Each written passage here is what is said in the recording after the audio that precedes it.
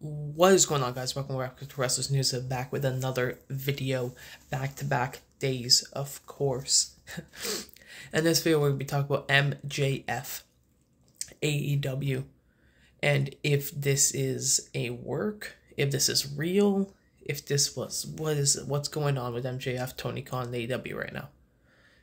We'll talk about this in this video. As you guys for certain know, as wrestling fans two weeks ago or a week and like a week and like five days ago, MJF cut a pipe bomb. He came out as he introduced himself as his full name and just pulled a fucking amazing pipe bomb. Bashing Tony Khan, bashing AEW, bashing the fans, teasing of AEW, AEW, WWE telling them how if he was an ex WWE superstar, would he be treated better? Talk about how he's the greatest in the world, how he's the number two seller in AEW, how he should be treated better. He told Tony Khan in the end, fire me. Fire me. F you, fire me. And we've been knowing about this past few months because Tony Khan and MJF have been in contract negotiations.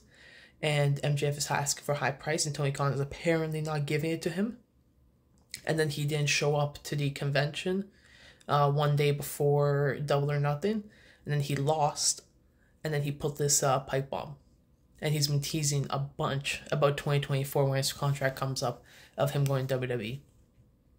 Is this a work? Is this real? I'll give you my opinion. I feel like it's a work. I feel like it is.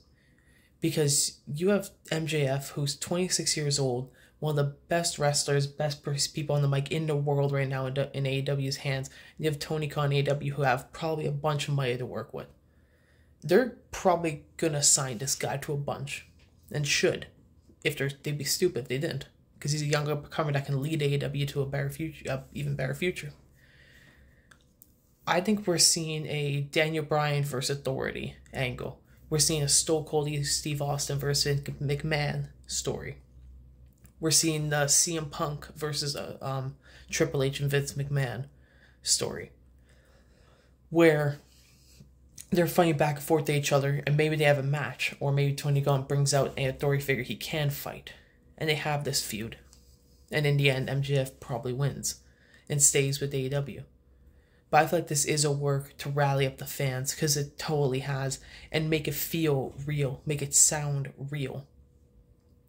And bring more viewers in from WWE or bring more viewers in from New Japan or just bring viewers in in general from seeing like, holy crap, what's going on here?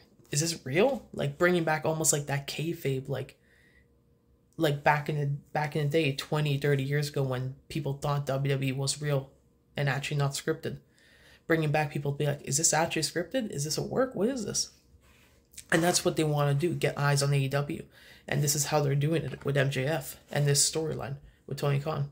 You guys tell me what you think down below. You give this a like and you subscribe.